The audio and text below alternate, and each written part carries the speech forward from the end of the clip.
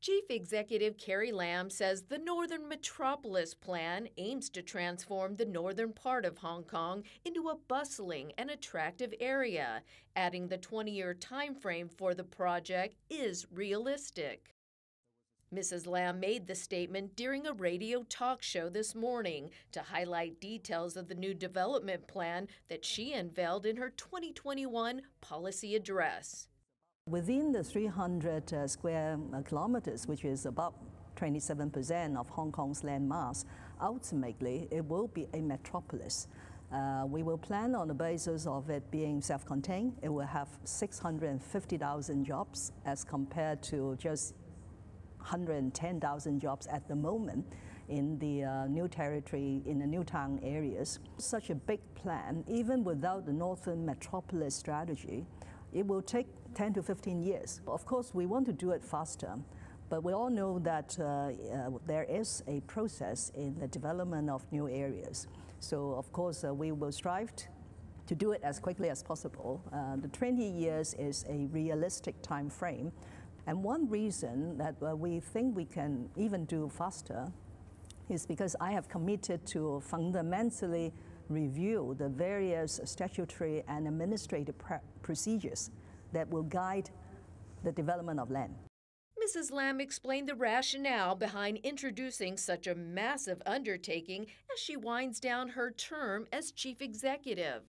The reason why, at this point in time, in the last year of my term as a chief executive, I put this forward because this is the first occasion that the Hong Kong SAR government could do something that is visionary, that is uh, long term, that we have confidence that we will be able to deliver. Because uh, in the past uh, year or so, two important decisions have been made by the central authorities. One is the Hong Kong National Security Law.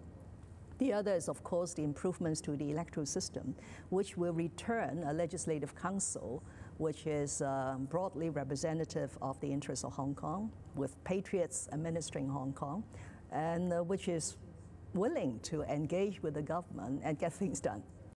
The chief executive emphasized that the success of her policy address, given its title as Building a Bright Future Together, hinges on the support of the business sector. There are plenty of opportunities for the business people. It's not confined to the northern metropolis. It's actually laid out in the eight centers that we have the support of the nation in the 14 five-year plan. Together with this policy address, we have taken a more innovative approach to publish what we call the fact sheets for each of the centers so that all business people know what are the prospects in front of them. She stressed that because the city is now very safe and stable, it is time for Hong Kong to embrace a new paradigm that includes making the government more effective. So governance has to be improved. Uh, um, planning has to be more holistic and bold. And uh, we are also setting a new beginning. I hope in time to come, Hong Kong people will realize this freshness.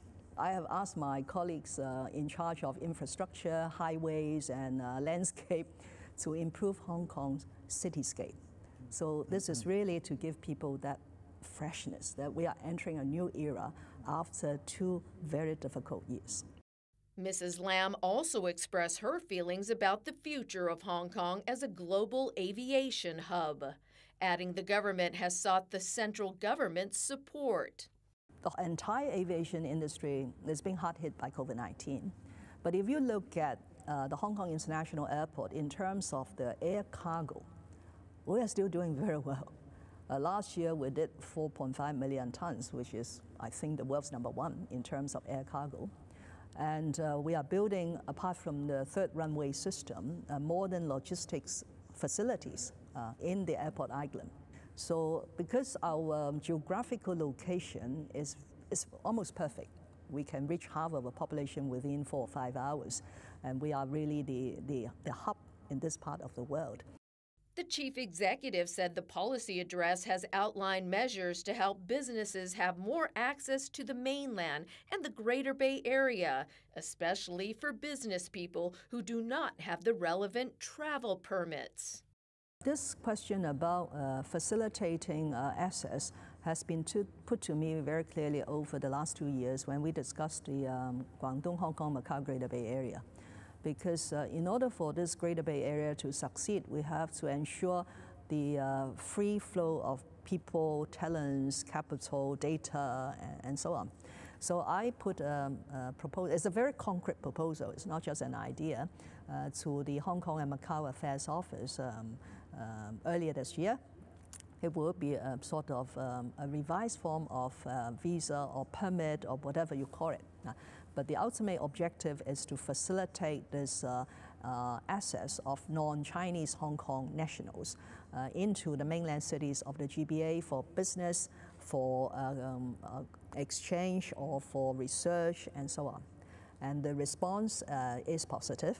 And that's why uh, they told me that we could have meetings uh, before the end of this year to discuss the details of what form this facilitation should take in order to make access easier for expatriates, uh, which will mean that Hong Kong will be more attractive in recruiting talents from overseas.